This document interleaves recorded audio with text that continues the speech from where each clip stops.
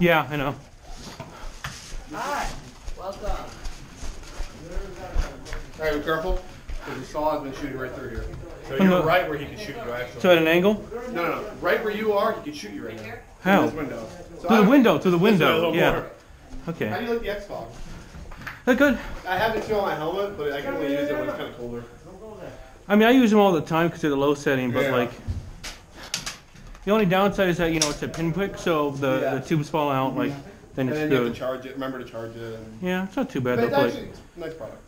I mean, it works. I mean, that's ultimately what it comes down to. It works. We need to find a way to get an angle on them. Um, Right back. Nate. Hey. Go down, Nate. Where's Nate? Go, Nate. uh, it's not a super effective one, but it'll work, I think.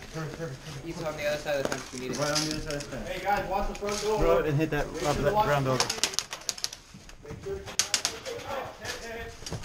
Who wants to watch the hole? Really?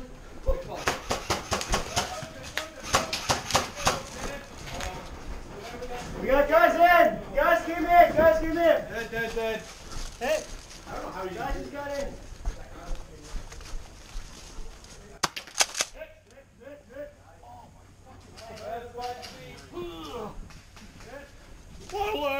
Oh, god damn it, hit!